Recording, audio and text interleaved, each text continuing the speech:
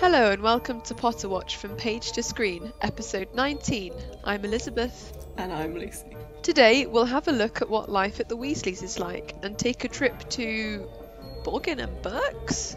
Huh? What? Last time we explored the burrow. Oh, that's it. Oh, that's usually last time. Last time we explored the burrow.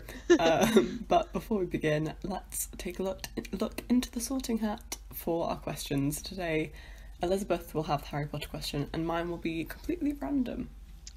Um, so, I'll go 1st Um, my question is like a it's like a question inception. Okay. Um, but it is what is your favorite question to ask people? Like when you first meet someone, or like as an Oh. icebreaker, or oh, okay. I'll go first because I I know mine Okay. because I I use them a lot Okay. when I meet new people, and it also I feel like well I, I kind of have two, and they're good for two reasons because. Mm-hmm. Firstly, I just want to know the answer. Secondly, I feel like depending on whether they react to it, you know, when you ask someone a weird question and they just don't question it and immediately start considering it and giving you an answer, and you're like, okay, yeah, I, Mm-hmm. You are you are my the same vibe. people. yeah. So my first question is, um, I suppose these could be the questions as well. Yeah. Um, who is your apocalypse team? You have to pick three people. Okay. Who's on the team, and then also, what is your apocalypse song? So like, if the world's ending and you've got about three minutes left, what song are you putting on to see the world? Oh well, I mean, I hate to be cliche, but Bohemian Rhapsody comes to mind. Yeah, I Or like I some kind of um, Queen song. Yeah, don't stop me now. Yeah, yeah. Is always is always. Or maybe like um like uh what is it? Um Welcome to the Black Parade would be quite cool as a last That would song. be good. Da, da, da, I would probably go. Don't stop me now. I just think that would be really funny. Yeah. Um, uh, I think uh I do like Killer Queen. That would be cool, like Mm, a nice beat to like shoot zombies with and stuff. yeah. I well, Yeah. I don't know what kind of apocalypse you're talking Mhm. about, but I always leap to zombie Mm-hmm. um, apocalypse. Yeah, but yeah, definitely a Queen song of some kind.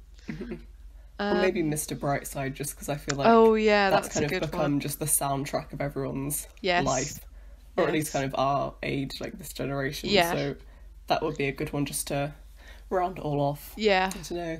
And then apocalypse team, apocalypse team. I never have like a one set answer. I always no, Like- yeah, that's a tough one. I would 'Cause- definitely go. Bear Grylls is usually on there because I feel like Oh, I didn't useful. even think about famous people. That's a good point. Oh, I, I didn't even think about non-famous people. um, no, I'd probably go Bear Grylls. Maybe I don't know. Can you do like, Like fictional characters, or is it does it have to be real I'm- world? I, I think in this situation, it's like you have free reign of everyone on Earth right Okay. now okay. living. Is this like exclude? I can like stay with my family and stuff. It's just these are the No. people that I'm No. with. Oh. Yeah, everyone else is gone. Oh, like okay. it's just you and these three people, and you're just it's it's you fighting off the whatever the threat oh, is. Oh my. Well, I f- I'd feel bad if I didn't pick Roman and Matilda then. I But I mean, so. Matilda wouldn't be very Matilda useful wouldn't in be much help. Yeah. But I mean, the alternative is her being dead.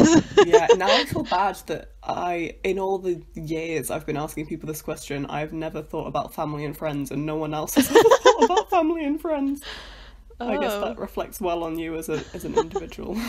Well, Hufflepuff through and through, I guess. Mm. I guess I'm just not very imaginative either. I I never go to like the thinking out of the box thing. I think of like, right, realistically, who would yeah, you be with, right? yeah. I think I'm gonna go, just just for today. If I had to pick right now, I'd go Bear Grylls, Dwayne Johnson. I feel like I should pick a woman. um, You don't have to. no, uh, Bear Grylls, Dwayne Johnson. Who else do I want? Maybe just like Zendaya to look at before I die. Good shout. yeah.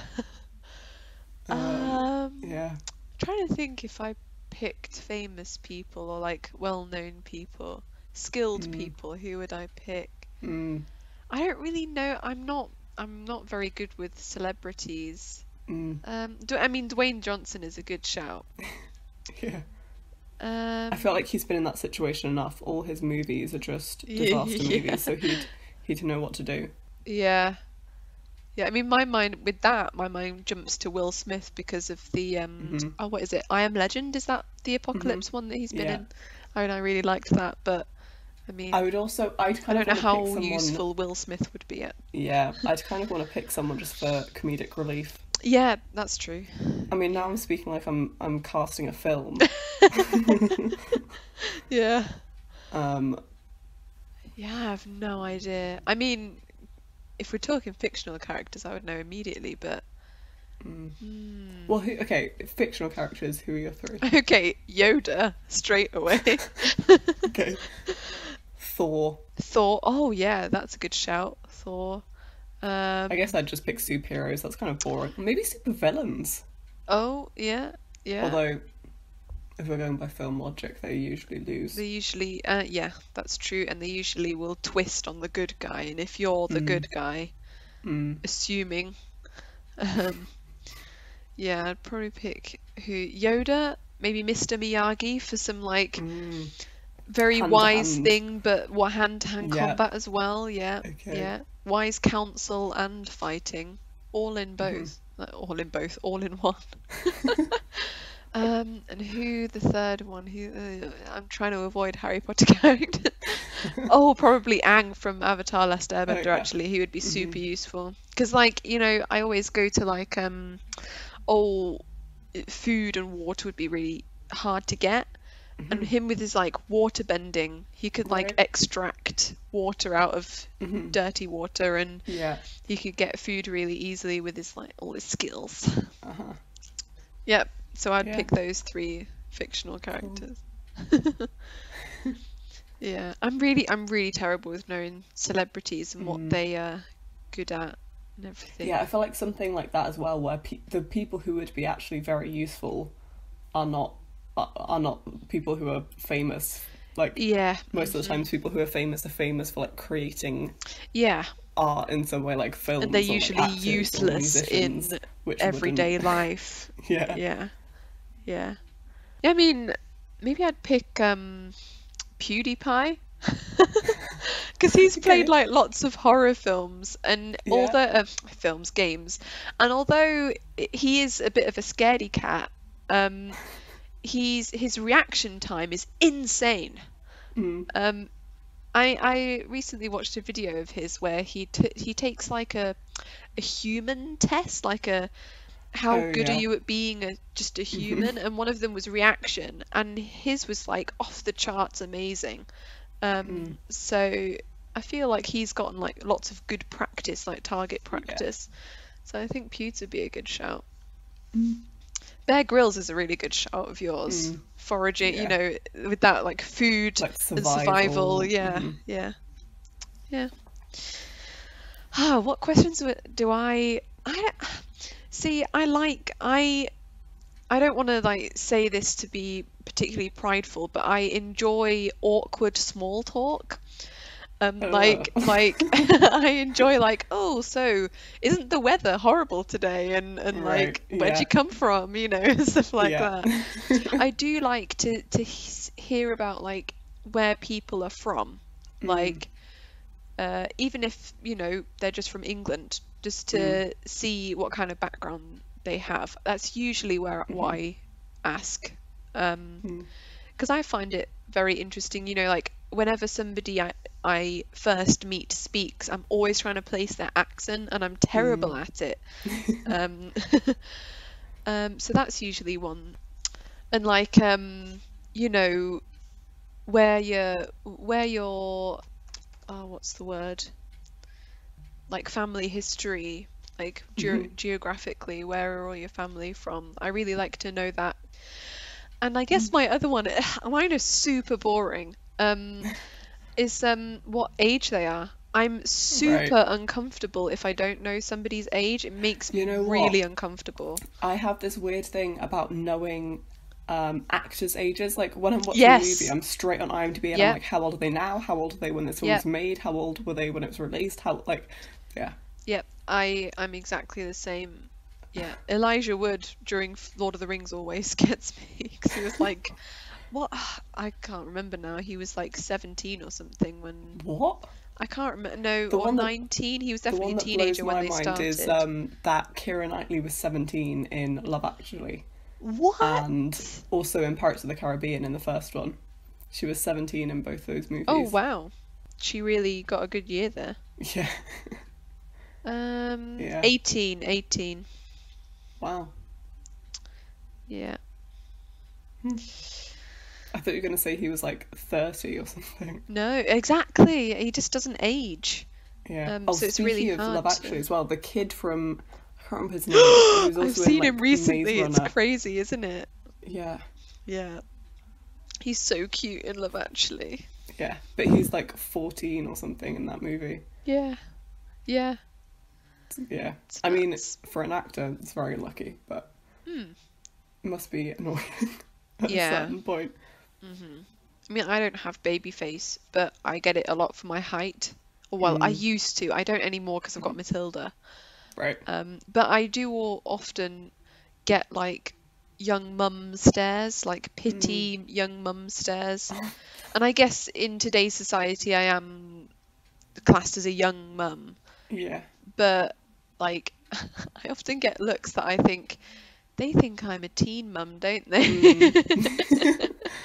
um, but my face, I think I've got a 25 year old face. It's just my height. You just. Yeah, Yeah. because I'm um, I'm five foot I two. think as I'm well. wee, I think as well with lady. age because because of TV shows casting like 30 year olds or 16 year olds, people forget that like Mm-hmm. Yeah, 25 year olds don't actually look yeah, that old. Yeah. You know.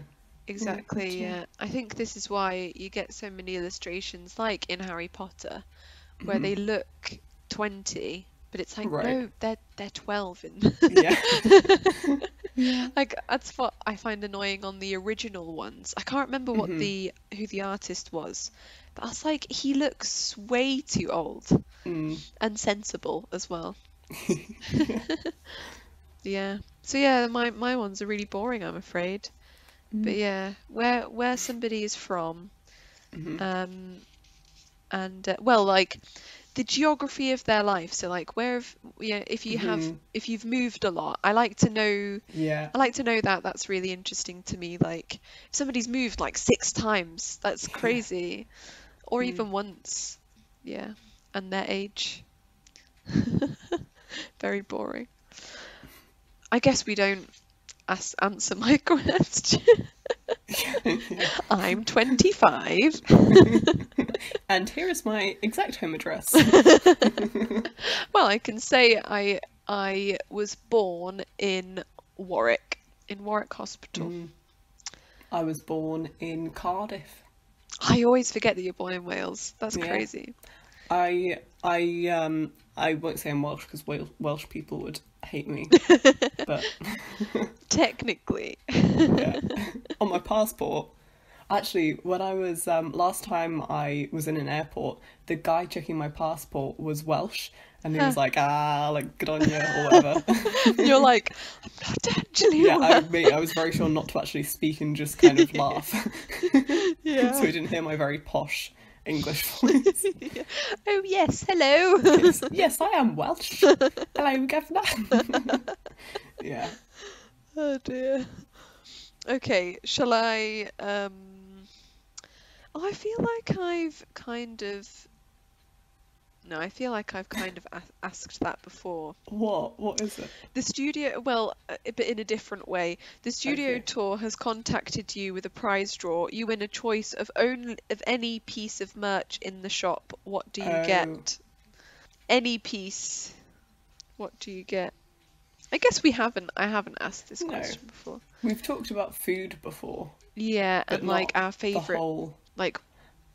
Oh, I think the one that I'm remembering is um like, oh, is um the chocolate frog one. Like, Yeah. would you would you rather only buy chocolate frogs or never Oh. be able to buy chocolate frogs again Oh yeah, yeah. Um, Um, I, what would I get? I I mean, it's boring, but I'd get a, a robe. Yeah, that's true. Yeah, yeah. That's the only thing I can think of that's like really I- expensive, and I, I don't know if I would ever be able to Yeah, buy. yeah. I think I might get like the replica chess set. Oh, okay. Like the really like it's like proper made out of like stone and it's got Yeah. a marble board and stuff. hmm But then again, Oh, me and Roman know- have a nasty past with chess. it gives me like really bad memories. not not that it was uh, terrible or anything. It was very silly. Um, but uh, on one of our dates once, I completely overreacted um, whilst playing chess, and it, the date turned a little bit sour, and it's, it just wasn't very nice. oh, It was completely all my fault, which just makes everything worse when it's like Mm. all your fault. mm. So maybe not. Maybe I would get a robe. I, I mean, it's. I actually might go for one of those, um, like Quidditch jumpers.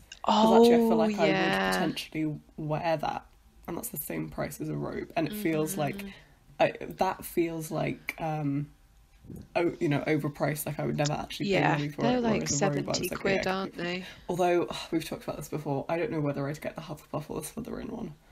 Mm. You would look way better in the Slytherin one. Exactly, and I am quite Slytherin. You, I are, yeah. I I think you're equal parts. Yeah. No, eh, we have talked about this before. Yeah. I, like, never shut up about it, but I think I am Slytherin, but I value, Yeah, like, I value kindness over ambition. yeah. And, but I, I still, like, kind of, like, if there's a loophole I can find where I benefit, sometimes at the expense of other people, as long as they don't know. Yeah. I mean, yeah. I think that's me with um, Hufflepuff and maybe every single other one. Like I am Hufflepuff, and I, it's not that I don't value kindness and hard work, hmm but I mean, I- I've always would rather be brave and like Yeah. you know superhero mean, vibes. The thing That is, be cool. Hufflepuff is like sounds the most boring, but I do like everyone should value being kind Yeah, over yeah. being anything else. But it's Yeah. so boring to say like, oh yeah, I value being kind Yeah. the most. I'm an I'm an amazing friend. I'm nice. Wow, well, you're so boring.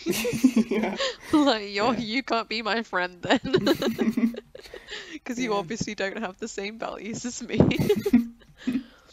yeah, I'd probably go Slytherin. Um, Slytherin Quidditch, Quidditch jumper. jumper. Okay. because then, because then I wouldn't feel so bad about buying a Slytherin one because it was just like given to me. yes, that's you true. know, Yeah. that's that's my loophole there. Mhm. I'd probably do the same with a robe. I think uh, as well, I'm really rubbish at chess and I wouldn't like Mm.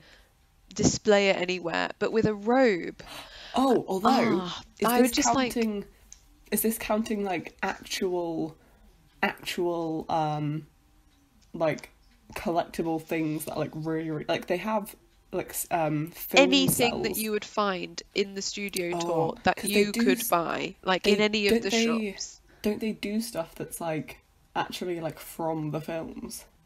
Oh, like props, Not yeah, like little but You can but get- replicas or the things that they actually have used. no like actual bits, not Oh. like not like the cup and like big things, but I swear you can get like I've Like never heard of that before, to be honest, but it Hmm. wouldn't surprise me. Maybe, yeah. I mean, I'd, I think I'm going to stick with my Quidditch jumper because I think I would wear that quite a Yeah. I think uh, that's true, and but for me, I'm I'm good enough at saving up money that I think if I really really wanted a jumper, I would get one. Mm-hmm. But with the robe, it's so frivolous that I would just never buy it. So I'm going to go with the robe. Mm, between us, we'd we'd have like a almost a full. yeah, Uniform. you know, I would love to get like um a prop one of those jumpers with the stripes at the bottom. Mm, I don't know why, but I really love them. yeah. Um, and I'd love to get like go to like Marks and Spencers and get like a proper schoolgirl uniform Mhm. and get a robe, a tie, and one of those jumpers and just be like full on. That would be Yeah. awesome. Even the ties are like 20 quid, yeah, aren't like they, or something? 23. Yeah, pounds, something like that. Something ridiculous. Yeah. Yeah. Okay. Interesting.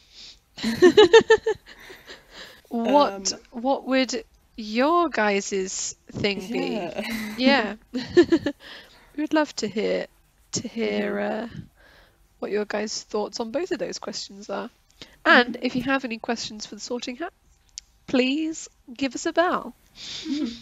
There were a lot of questions within questions There was in that. we had a lot of questions there. questionception. Um, yeah. Okay, so um, as we said, we're just going to be looking at some Weasley life for the first part of this episode. So, as we said uh, last time, the film implies that Harry and the Weasleys go straight to Diagon Alley, like the morning after Harry gets there. Uh, So, because of that, we don't really get a feel for life at the Burrow, which is such a shame because, as we said last Mhm. episode, it's like, Pretty I- yeah, I don't think many people would um, pass up an opportunity to see more of like Weasley's life. Yeah. Weasley life. Obviously, in the book, though, it's quite different. So um, I've got some um, little uh, quotes here to read out. It says, Harry got a shock the first time he looked in the mirror over the kitchen mantelpiece, and it shouted, Tuck your shirt in, Scruffy! The ghoul in the attic howled and dropped pipes whenever he felt things were getting too quiet, and small explosions from Fred and George's bedroom were considered perfectly normal. Mrs. Weasley fussed over the state of his socks and tried to force him to eat fourth helpings at every meal.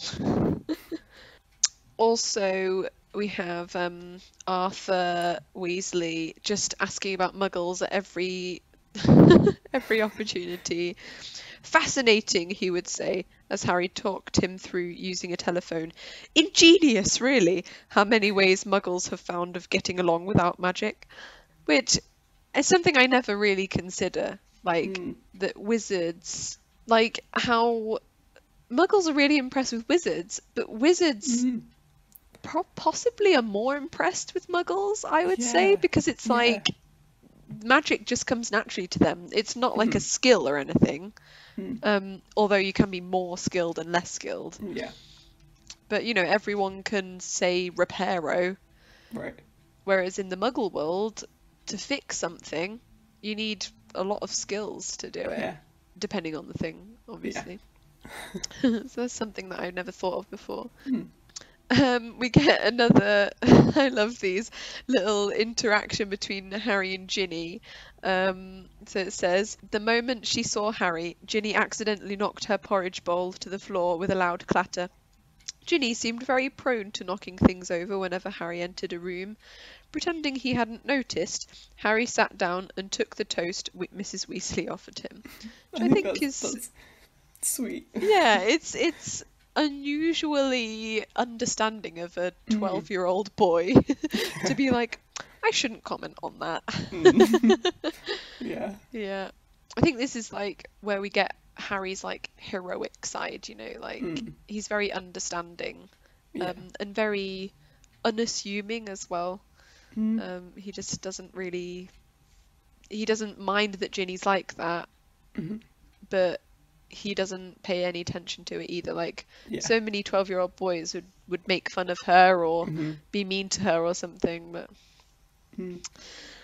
um, in the film we have another additional scene that isn't in the book, which is Errol crashing into the window. In the book, I like I like that yeah, that addition.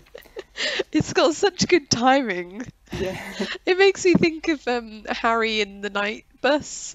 Um, Mm. the- ah! That's such a fun like running gag as well. Errol, Yeah. like crushing and stuff.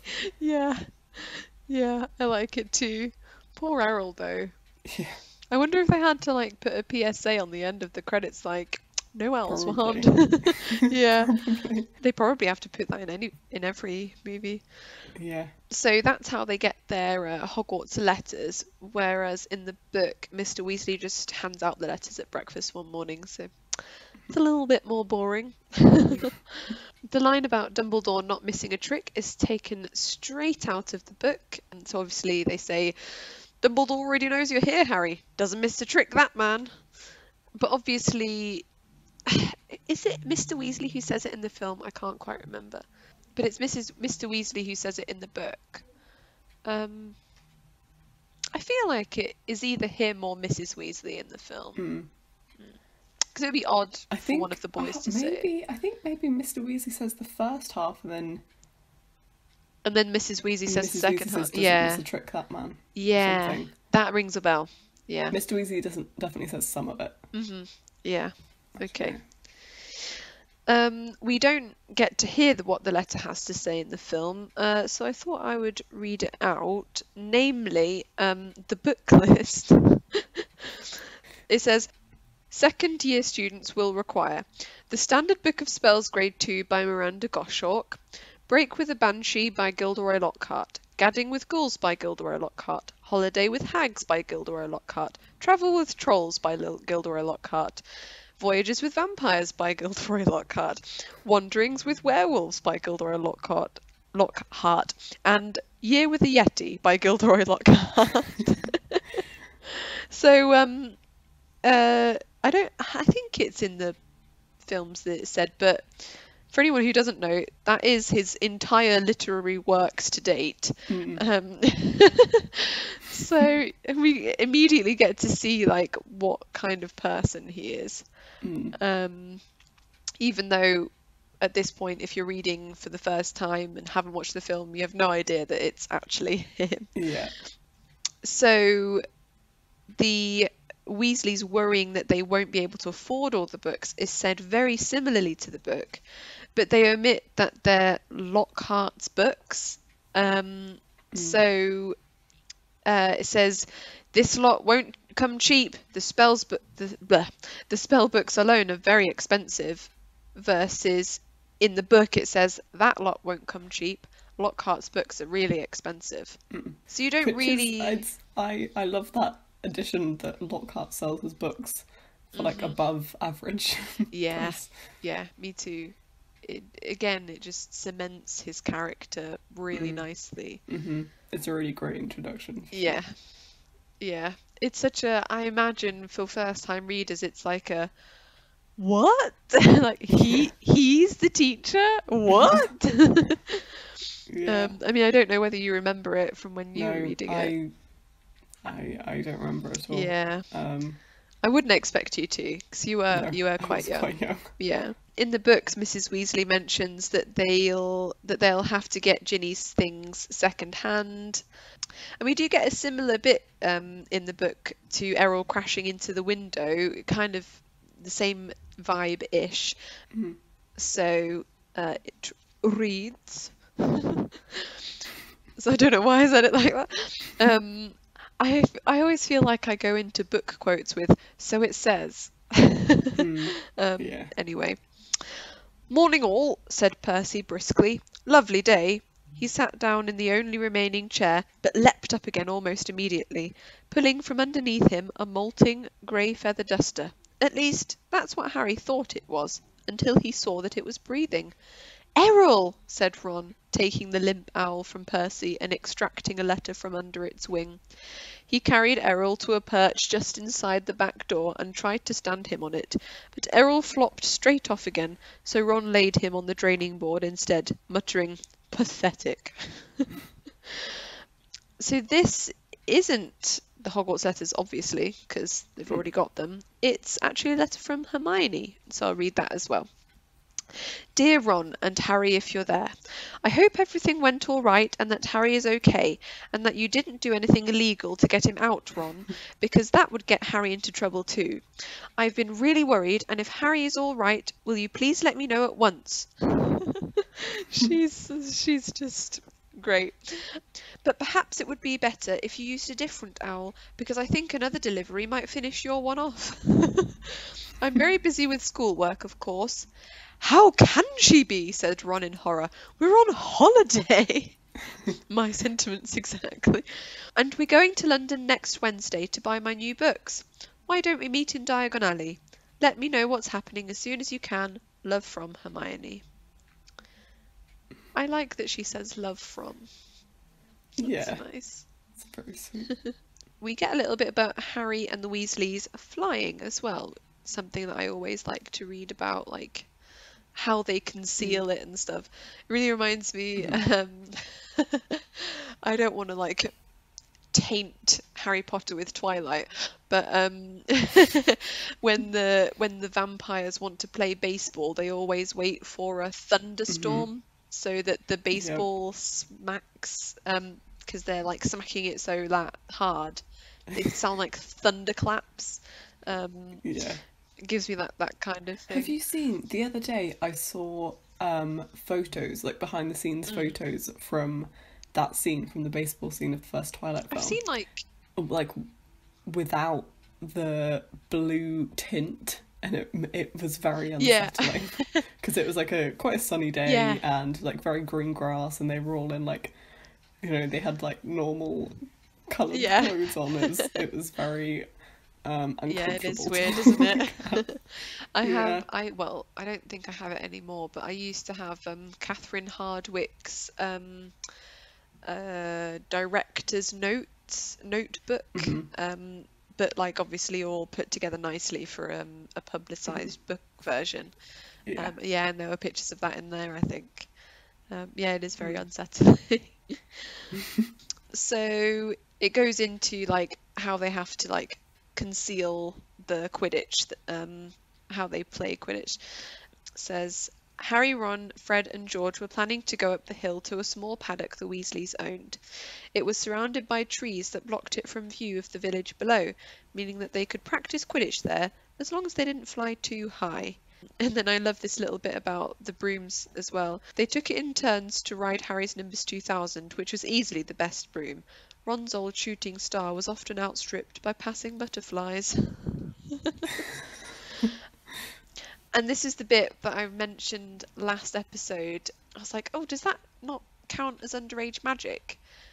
But then when hmm. Harry asked about the car, they said, well, it doesn't count because their dad enchanted the car. They were just using the hmm. car. So I wonder if Right. that's the same as brooms, like somebody else has put the mm-hmm. enchantment on the broom. Yeah. And I wonder whether the older the broom gets, the more the enchantment wears off. And that's why I- the shooting star is so bad. Yeah, I would assume it's kind of the same sort of deal with the fake invisibility cloaks Yeah, of like yeah, the invisibility charm wearing off. yeah, that's true. Kind of like iPhones, how they make iPhones so Yeah. they are. Yeah, yeah. I I get the feeling that um, all spells are like that. that They wear off eventually, and you have to kind of update Yeah. them.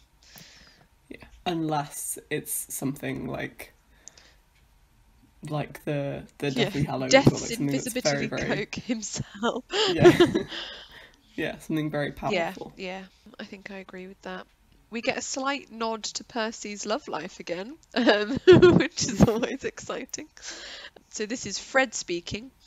He's not himself. His exam results came the day before you did. Twelve owls, and he's and he hardly gloated at all. I love those little bits that they just, you know, don't have time to put them in the film, hmm. but they add so much to the like general vibe of things. Mm-hmm. Mm-hmm. Like the heart of mm-hmm. it. Mm, Yeah, exactly. Yeah. Yeah. Again, like in the film, obviously they don't have much time to go into like just how poor the Weasleys are, but in the book, it, it's um, mentioned quite a few times. Um, so I thought I would read one of George's comments this time. So last time Fred was saying it, and this time George is saying it. Don't know how Mum and Dad are going to afford all our school stuff this year, said George after a while. Five sets of Lockhart books, and Ginny needs robes and a wand and everything. Harry said nothing. He felt a bit awkward. I feel really sorry for Harry in these bits because it must be really conflicting to both like have lots of money and be glad that you've got lots to spend on nice Mm. things and yet know that there's just no way that these people will accept anything from you Yeah. and it would be awfully Yeah. patronizing to even offer hmm but he desperately wants to um Mm. yeah um and it is also mentioned that um Harry can only use this money in the wizarding world. But but we later on sorry this really annoys I me know.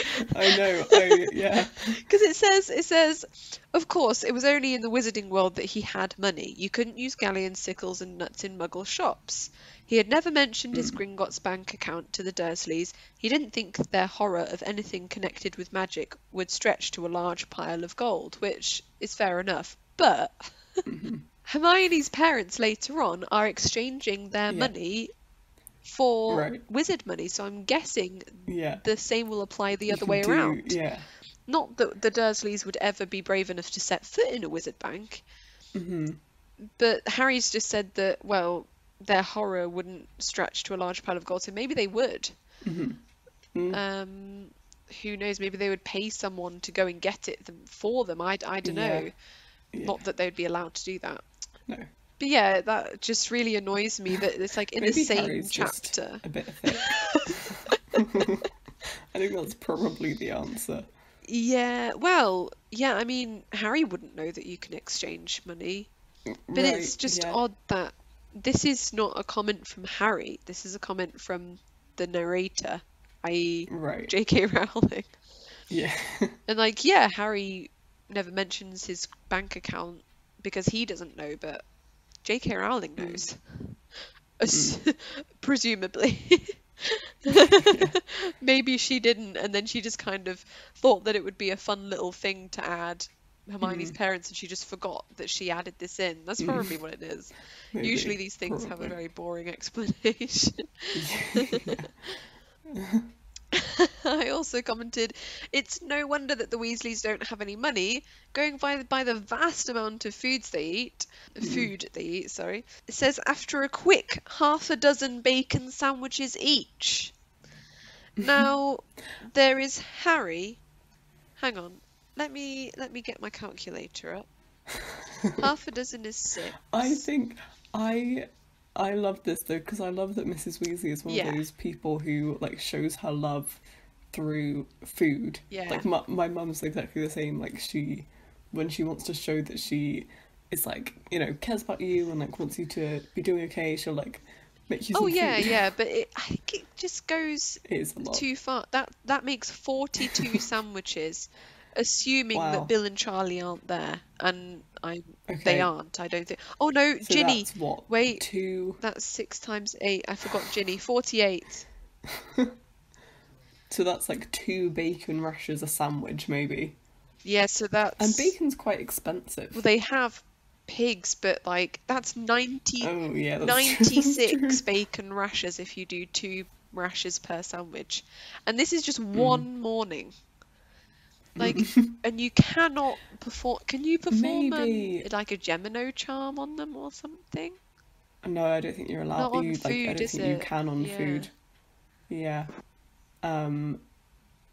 But I mean, maybe they're having more than usual because they're about to go on a long trip and like, and like there is like a big day trip out. And they don't have know. money to buy them lunch or something, maybe. Yeah. Yeah, that's a Yeah. depressing It's like, thought. come on, let's fill, fill up Yeah. Before we go. Yeah, that's true. Yeah, half a dozen know. though.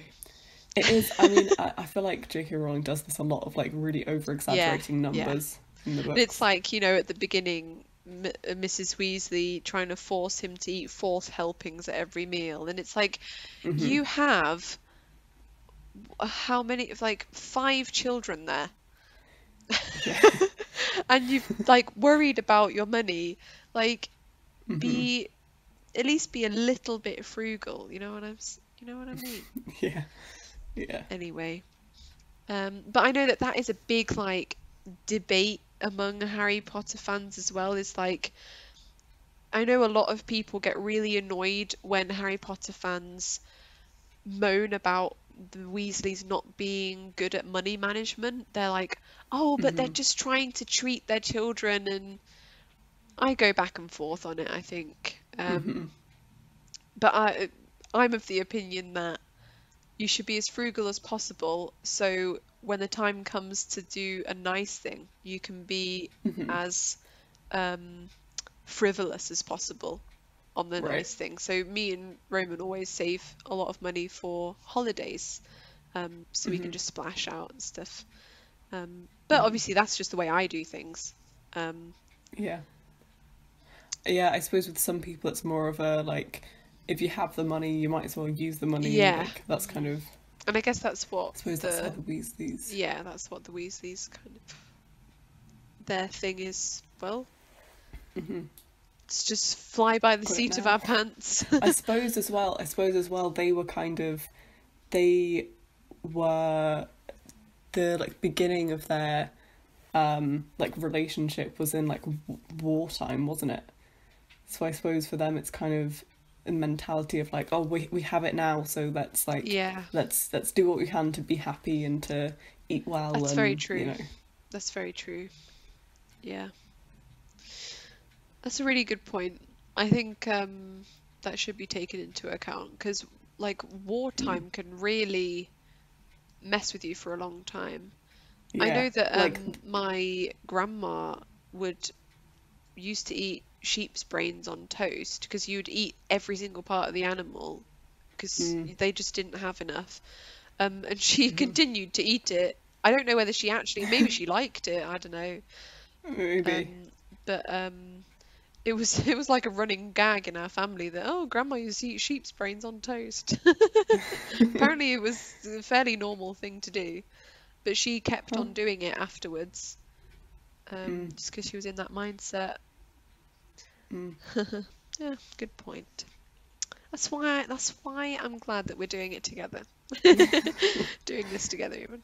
So, Mr. Weasley uh, in the book asks Harry about muggle travel after it's mentioned that Harry's never travelled by Floo powder before. He's never travelled by Floo powder, said Ron suddenly. Sorry, Harry, I forgot. Never, said Mr. Weasley. But how did you get to Diagon Alley to buy your school things last year? I went on the underground. Really? said Mr. Weasley exci- eagerly. Were there escapators? How exactly? Not now, Arthur, said Mr. Weasley. I love it. Escapators. He's so cute. I love the bit in um in the it's in the fifth movie, isn't it?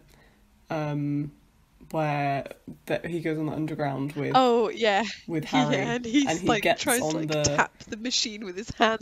yeah yeah yeah, uh, that that's yeah. like I imagine what a five-year-old must feel like on their first time, Right. like or a child on their first time in the underground, like Yeah. ooh. Mhm. the Weasleys give Harry all sorts of like crazy advice. Well, not crazy advice, good advice, but just so much Mm. advice. Mhm. The and with no like further yeah, yeah. So the advice is speak clearly, get out at the right grate, keep your a- elbows tucked in, keep your eyes shut, don't fidget, don't panic and get out too early. so it kind of flusters him. And in the film, it really annoys me that in the film, he just looks like a complete Mm. idiot. yeah he just says all diagonally, just, you know. Diagonally. yeah I Um, hate it Yeah, me too. I, I love this film but this is like the worst bit Yeah. Uh, in the book, though, it explains um, that he doesn't speak clearly because when he opens his mouth, he's literally standing in a fire, so he immediately Mhm. swallows a lot of hot ash, which, yeah ouch, by the way. yeah and that makes more sense yeah, Although I do love the line, what do you say there? Diagonally. I thought he did. did. yeah. Like, yeah, I do love that as well. I, I kind of I can kind of let it slide just for that yeah. that moment afterwards. Yeah, yeah. Again, like, um, man, I still can't remember the guy who plays Arthur Weasley's um, Mark. Mark. Um, Um, I was gonna. I was trying to think of the Mark and Julie, they do a good job. Yeah. yeah. They do. Look at us on first name basis with our pals Mark and Julie.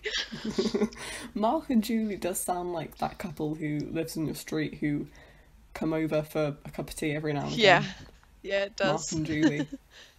It really Hmm. does. It sounds like they would be like in a Beatles song, you know, like you know, in like Obladi Oblada. It kind Hmm. of sounds like that kind of um, vibe of a name. Yeah. So yes, he swallows a lot of hot ash, and he says diagonally because he's coughing up ash. Mm. Uh, in the film, we don't really get to experience with Harry what traveling by Floo powder is really like, which is understandable. I don't know how they would have done it in the film. Mm. And it's just like an unnecessary extra Yeah, 10 seconds. yeah. But obviously, as always in the book, we get a little bit of insight into it. So I thought I'd read that as well. It says, It felt as though he was being sucked down a giant plug hole. He seemed to be spinning very la- fast. The roaring in his ears was deafening. He tried to keep his eyes open, but the whirl of green flames made him feel sick. Something hard knocked his elbow, and he tucked it in tightly. Still spinning and spinning. Now it felt as though cold hands were slapping his face. Squinting through his glasses, he saw a blurred stream of fireplaces and snatched glimpses of the rooms beyond. His bacon sandwiches were churning inside him. He closed his eyes again, wishing it would stop, and then he fell, face forward, onto cold stone, and he felt his glasses shatter. I hear I hear a lot of people saying this, but I feel like um, the Floo powder journey would be such a cool um, theme for a, a ride at Universal Studios. Yeah, kind of like, Like- um the Disney Tower of Terror, like a drop ride, Mm. but spinning Or as well. Yeah, there's there's a ride at Alton Towers that is, um, it's it used to be a Sonic ride. I don't think it is a Sonic themed Like ride anymore. Sonic the but Hedgehog? You're, yeah, yeah, um, and you're on a track, and it's like, uh, two pe two lots of two people, like two pairs of people back to back on Oh, a yeah. circular thing, and you like go around the track and like spin around. Oh, okay. That'd be so cool, and you could have like glimpses of like fireplaces into places you know, and like Yeah, go like, oh, there's a fireplace. You know, I think that would be that really would cool. be cool. Yeah, yeah. I guess they like to do like theming really strongly. It'd yeah, be quite hard to do really good, effective Yeah. theming on that one. hmm But you could like the queue. The queue could be like the Weasleys' um, fireplace, and then when you like get through, go through the gift shop, the gift shop at the end could be like Knockturn Alley themed, yeah, um, yeah. something like that, because they like to do that would like be really cool. yeah, Yeah, the gift shop could be like, like you could come out through Borgin and Burkes. yeah, yeah. Oh, that would be that so would be cool. really cool. Yeah. Harry. Speaking of Borgin and Yeah, Burkes, Harry ends up in a shop called Borgin and Burkes. I'm pretty sure the name is omitted from the film. I don't think they mm-hmm. say it. So, Yeah. yeah. they call him Borgin, don't they? In the film, I think. He doesn't see. He doesn't see unless you're talking Oh, about sorry, I'm- the uh, yeah, I'm talking about the deleted, deleted scene. scene. Yeah, and in which But yeah, case, yes. no, in the in the film, he just walks out. of the Yeah, if you if you don't watch it with the delete, well, you can't watch it with the deleted scene because it's not an Mm. extended version. um, I really wish they would bring one out. Yeah. But yeah, don't watch the deleted scene. Yeah, you just don't get anything, I think. Um, So Mhm. yeah, it's Borgin and Burkes named after the two founders of the shop. Mm. Um, yep, in Knockturn Alley, and that's where I hand over to Lucy. Thank you very much. So, Thank um, you, thank you. to to start off uh, this Borgin and Burkes section, there is just a little uh, description of Mm. of Borgin and Burkes in the book. It says, "A glass case nearby held a withered hand on a cushion, a blood-stained pack of cards, and a staring glass eye." Evil-looking masks leered down from the walls, an assortment of human bones lay upon the counter, and rusty spiked instruments hung from the ceiling. Even worse, the dark, narrow street Harry could see through the dusty shop window was definitely not Diagon Alley. The sooner he got out of here, the better. Um, I mean, and then in the film, it's it's kind of as described. It's a little dingy. Yeah, I think they did it spot shop. on. I think they got it perfectly. Everything's Yeah. just dirty and black and dingy and dusty Yeah. and really like you immediately get a vibe of danger like Yes. Yeah. Absolutely. yeah. Harry in the books is not stupid enough to just go around touching strange artifacts. Um, Like it's so a fun like oh jump scare in the film but Mhm. it annoys me like why would he do that? Yeah, yeah. Um, so yeah, the scene in the film where what we can assume is the hand of glory um, grips Harry's hand is is added. It's not in the book. I quite like it. I think it's quite fun. yeah, yeah, it's like It's like a a fun little moment. oh moment. dear. Yeah. Whoa. Yeah, it always it- it reminds really me of um, that bit in Lord of the Rings where Bilbo says, I think this will be a night to remember, and then it goes to like fireworks, and it always Yeah. makes me jump every time.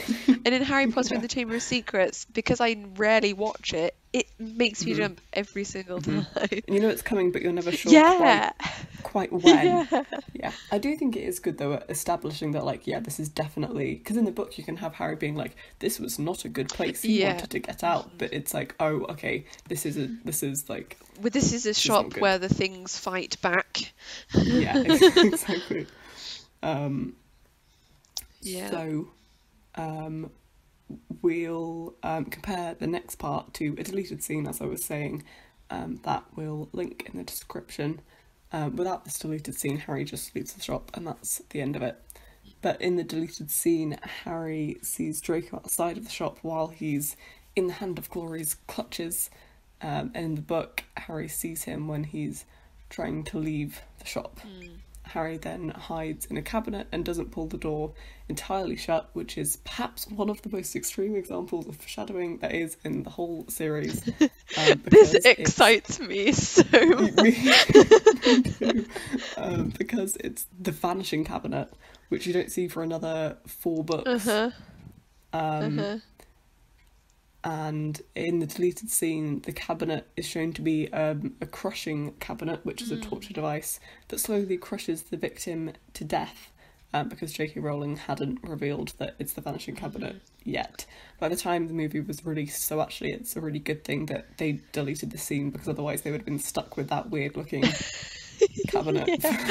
Where did you get that it was a crushing cabinet? Was that Uh, does it? it was on the wiki, but Oh, they they they had like evidence of um pictures of Like actual old- crushing cabinets. right, right, Yeah, because No, they're a I was gonna real ask. thing. Is it like a Yeah, it's, Right, it's a real okay. thing that they actually used to use for torture. Mhm.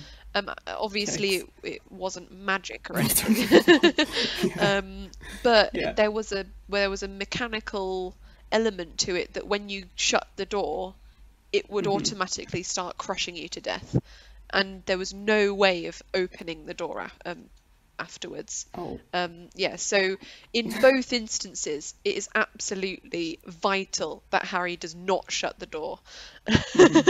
I thought I thought in the in the deleted scene he does close the door though, No, it I and he's like, it shows you can kind of see it. I watched I rewatched it a couple of times.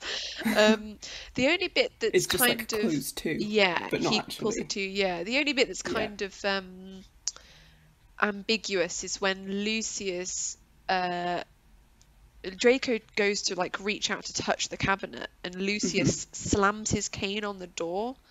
But I don't Mm-hmm. Yeah. know whether that actually shuts the door. Um, Mm. well, I 'Cause he's- assume not because Harry's not dead. So right.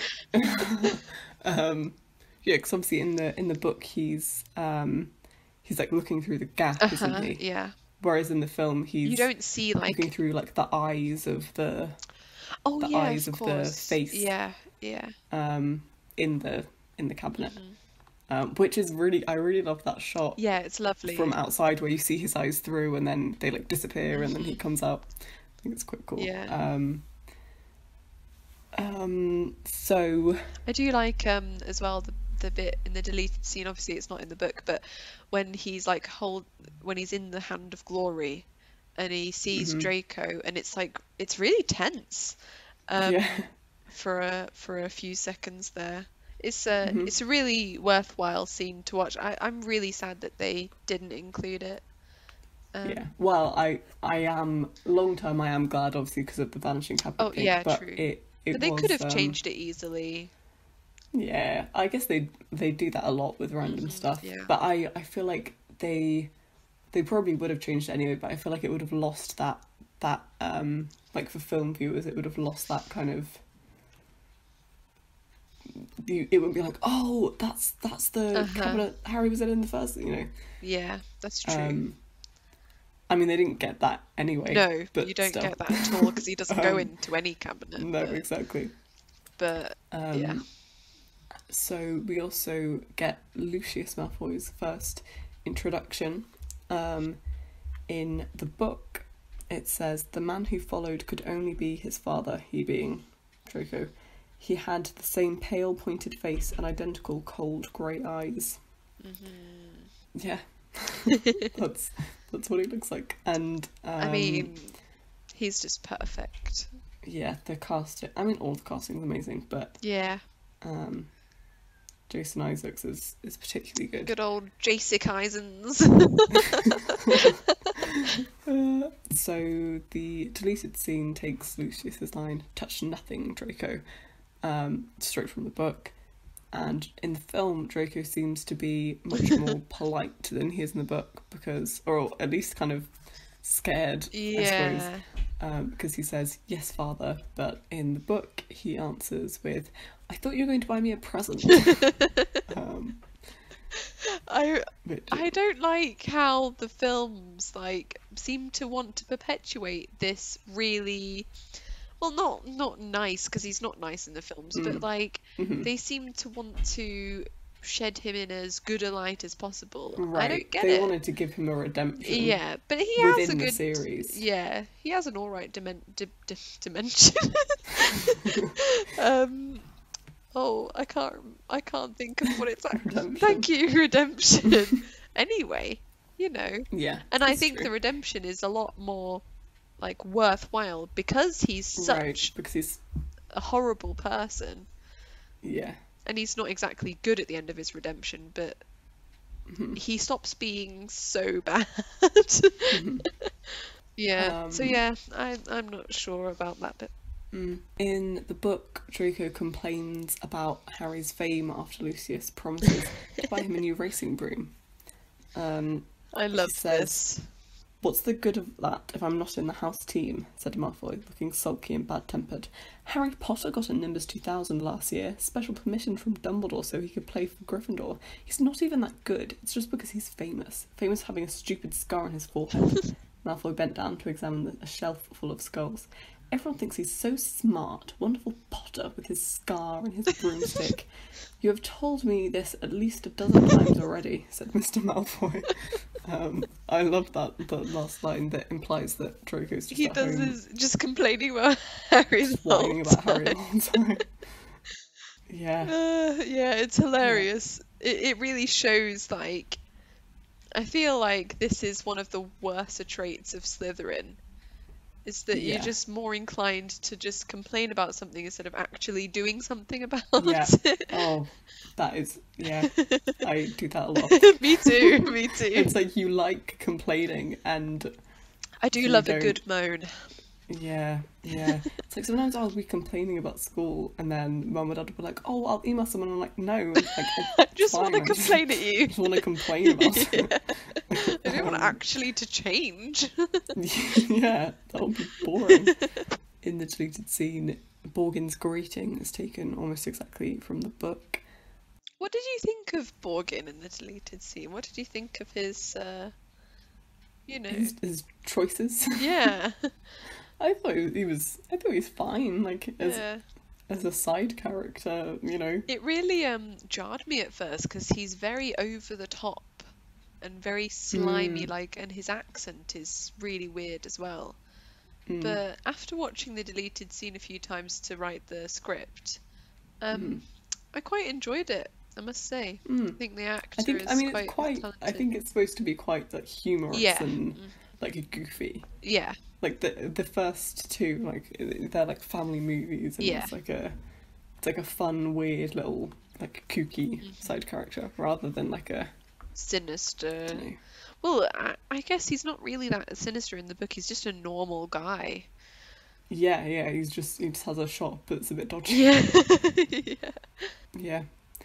When when Lucius tells Borgin that he's selling in the deleted scene, he asks Draco to present a black box. Um, but in the book, he takes out a piece of parchment for Borgin to read, and that presumably has a list of the items Lucius wants to sell.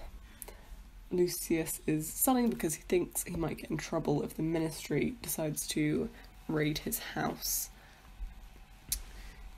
He uh, says, I have a few uh, items at home that might embarrass me if the ministry were to call. And then he goes on to say, I have not been visited yet. The name Malfoy still commands a certain respect, yet the ministry grows ever more meddlesome. There are rumours about a new Muggle Protection Act. No doubt that flea bitten, muggle loving fool Arthur Weasley is behind it. This is Um, really nice, like trickling in that he always moans about Arthur, and so this is where Mhm. Draco gets the moaning about other people all the time as well. Like they're both exactly the same. Yeah. yeah, for sure. Sorry. No, it's it's exactly that of like lump behaviour kind of thing. Yeah, as, as and then he goes on to say, and as you can see, certain of these poisons might make it appear. I understand that, sir. Of course, said Mr. Borgin. Let me see. Also added to the scene, Borgin sees an item in the box that interests him a lot, and he exclaims, "Look at that!" And Lucius tells him it's not for sale, and Borgin says, "I understand. It has unique qualities. One wouldn't want to see it falling into the wrong hands." This really bugs me. It's like, why would you bring it to the shop I if you're planning to sell it? I know, and I, I mean the idea of bringing the box is just odd um, to me anyway. Like those are all of your unwanted items. Like Yeah. you've been a follower of Voldemort for years, Mm, and you mm. have all of your unwanted items in this small box. yeah, Anyway, yeah. but yeah, Um, it's weird. Like. Like, are you using it as a handbag and it just happens to be in What are you doing? yeah, yeah. No, it's it's strange. Yeah, I'm glad Um, that that is not just anywhere in the book because Yeah. I can excuse the film a little bit, but in the book it's like, come on, you have years to write these things. Yeah, yeah. In the book, mm, as we are saying, none of this happened. Oh, and Oh, yeah, sorry. Draco, Draco interrupts the two of them by asking about Hand of Glory. He says, Can I have that? Interrupted Draco, pointing at the withered hand on its cushion. Ah, the Hand of Glory, said Mr. Borgin, abandoning Mr. Malfoy's list and scurrying over to Draco. Insert a candle and it gives you light only to the holder. Best friend of thieves and plunderers, your son has fine taste, sir. I love that bit of foreshadowing as well because he uses the Mm. Hand of Glory in six. Is it six that he uses it in or seven? Um, I can't remember. I think it's six when he's Yeah. leading the Death Eaters around or something. I can't remember. I yeah, I think so. Yeah. Um, in the book, they haggle over how much the list of items is worth, while Draco gets steadily co- closer to Harry in the cabinet. But in the deleted scene, Lucius reaches over to the box where Borgin keeps his money, takes a stack of gold coins, and says, "You can keep the box." Um, Draco goes This annoys me so much. Like, and don't touch his money, you weirdo. his cane on the door and says, What did I say? And Draco answers, Touch nothing, Draco. yeah, sorry, I kind of spoke over you. No, that's but yeah, okay. the, the, it, it is, I think, it's like a, oh, like, like oh, you know, Why, like, you might be the most awfulest person ever, mhm, but nobody would do that. Yeah. Who would Yeah. do that? Just reach over, I'll take this piece of stack of Although money. Borgin, in the commotion, he does reach the stack of gold that Malfoy took and Yeah. um, takes a coin Slips a coin the off top. the top. Yeah. Mm-hmm. Revenge. In the book, they also mention Hermione. Um, So that's all in the deleted scene. yeah, so that's yeah, it gets confusing going Um, back and forth. yeah. Um, in the book, as I said, they mentioned Hermione. Um, Draco says the teachers all have favourites. That Hermione Granger. I would have thought you'd be ashamed that a girl of no wizard family has beat you in every exam. Snapped Mr. Malfoy. Which I like that Is- Harry's like, ha, said Harry under his breath. that bugs me though. Like, why are you saying anything under your breath? I know, no, why would you risk it? Eat that, Malfoy. Oh, I so caught you. stupid. Die. yeah, exactly. Come on. Um, no, yeah. yeah.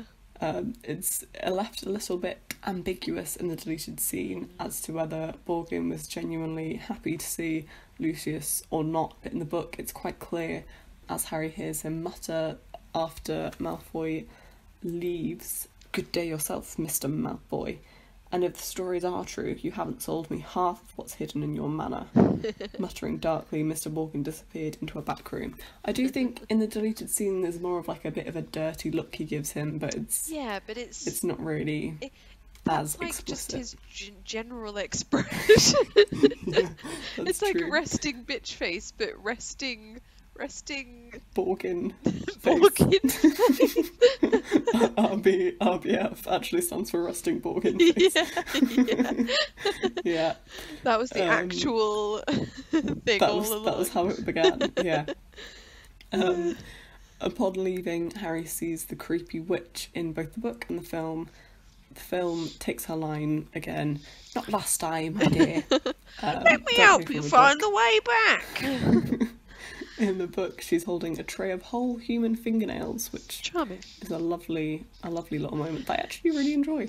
Um, then, I do course, like the detail, but it always like my mind immediately goes to how did she acquire the fingernails? Mm, yeah, yeah. The fact they're whole. yes, yeah. Mm. Um, but yeah, then of course Hagrid finds Harry and takes him back to Diagon Alley. What are you doing, Harry? Skulking where- down Knockturn Alley. That is where we leave off. So, Marauders map this time. The only new place is Borgin and Burkes Mm-hmm. and Knockturn Alley. So, the only thing I really have to say is I'm pretty sure Knockturn Alley is the same set, or at least the same set pieces as Diagon Alley, just redressed. Oh, oh, okay. I think I haven't found that confirmed anywhere, but I feel like I remember either being told at the studio tour or reading somewhere. I think it's the same. Like the shop fronts look the same. I think maybe it's the same shop fronts with like an added wall Oh, okay. or something, Oh, and like a few added bits. But I think they reused at least sections of. It would make set, I sense, think. like to save a bit of Yeah. money, save a bit of time. Mm, I always like hearing when films like do this. You know, have you seen like the Disney, the really early Disney? Um, they use like stop motion, like hand drawn animation, and uh, Mhm. there's certain scenes like dancing scenes, or um, the one that I've seen is comparing Mowgli walking in the jungle to Christopher Robin walking in the Hundred Acre Wood. oh right. Um, mhm. and it's literally exactly the same. They trace over Yeah. the drawings. And loads of people are like, ah, how dare they? This is so wrong and rubbish. And I'm like, no, actually, I think it's a really clever thing. It's quite cool. Yeah, that you can do to save some money and save some time for the Yeah, poor people yeah, working on these exactly. films. Mhm, And then it means you can put that money and that time elsewhere. Yeah, yeah, where it's actually important. Like this isn't Yeah. important. Like nobody, Mhm. nobody actually cares when they're watching the movie. Like that's what Christopher Robin did. Nobody's doing that. Yeah, exactly. Yeah. Yeah. and the same here. Like if it is redressed, Mhm. just Diagon Alley, I just really appreciate like knowing little tidbits like that. It, it doesn't Mm. bother me at all. And I think it makes sense because in my mind, Knockturn Alley is just like dark, dark. Yeah. Like it's the same street. It's just a little I always off, imagine it um, like um, it. Diagon Alley is just one big kind of long up and down street with maybe a, Yeah. a curve or two.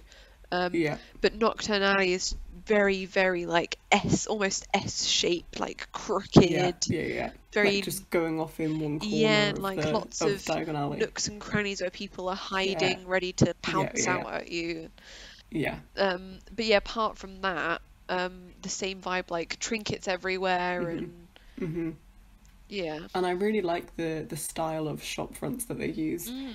in both places of like the kind of you know the the curved windows with all the little Yeah, glass panes. It's really yeah. cool. Again, like I think I said, uh, I can't remember when I said this, but um, it's a testament to how good it is. I think last time when we talked Mm. about the Burrow, that it just doesn't change at all. Because usually, Yeah. like with Hogwarts Castle, that's changed a lot because Right. it was rubbish. yeah, yeah, But it was so good that they didn't And have to change it.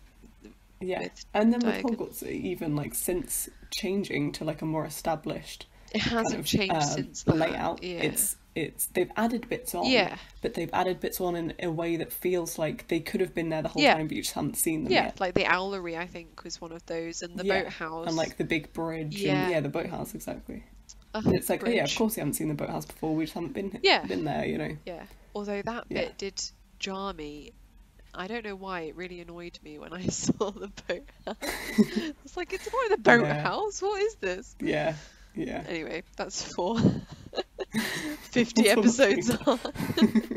yeah. Oh, well, that's interesting. Um, I'm, I really like the Marauders map section of our episodes. I always learn something new. Thanks. I mean that that is just I I've not found I've been looking through all my books, like behind the Yeah. scenes books and location books. I think maybe we were just told at the studio one yeah, time. we have been told a lot of I- things at the studio. yeah. Yeah. Well, Um, if any of you listeners go to the studio tour, maybe you can ask, mm, because the Yeah. people there are always extremely eager to talk to the Yeah. to the people doing the tour. Yeah. All right, so that was a fairly short episode, wasn't it? Mm. But I guess that's all we need to say. there, there really isn't many differences. There aren't many differences in Chamber of Secrets. hmm So, it is objectively the best film of the whole franchise. i- i- well, yeah, in terms of adaptation, I think it probably will amount to be one of one of the best. Yeah. Uh, yeah. Yeah. Yeah. Yeah. Again, like even comparing it to the first one, it's Yeah, it's miles better. my least favorite. Yeah. movie.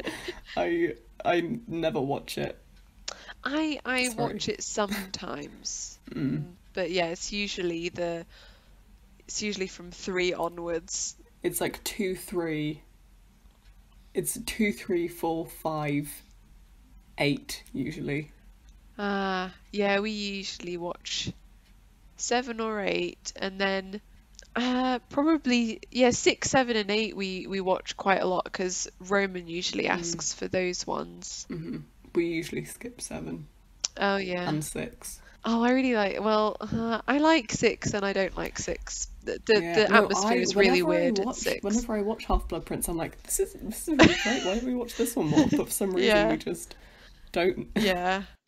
But I I love three, four, and five as well.